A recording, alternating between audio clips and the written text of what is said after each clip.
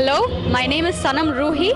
I'm a PhD student. Uh, I'm working on a collaborative project between National Institute of Advanced Studies in Bangalore and University of Amsterdam. Uh, we are looking at globalization and the changes, especially in small towns, provincial towns, and what kind of changes have been happening due to transnational migration. Uh, I'm looking at particularly coastal Andhra, focusing on Guntur Krishna districts, and uh, I'm working on what kind of philanthropic activities migrants have been doing, especially those migrants who have settled in USA. Uh, as you know that there have been a lot of migration, especially from the doctors, the community of doctors from coastal Andhra who came and settled here 30, 40 years back.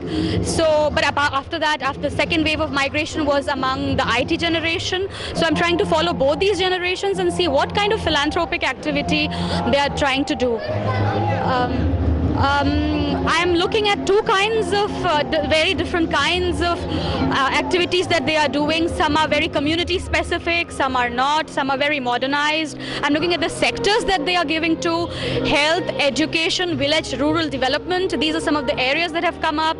And I'm doing in depth case studies of some organizations from Guntur district, especially, and also looking at something in and around Krishna district and I'm here at the NATA convention.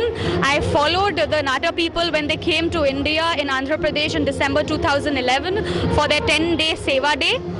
And uh, now I'm here because this is one of the big Telugu conventions that are happening here. And some of the people whom I know, whom I've been researching on, have also been here.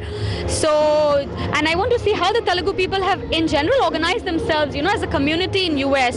So this has been a real eye opener, and I'm really glad I made it here. So this is my research, and this is a very brief synopsis of what I am doing. Thank you very much.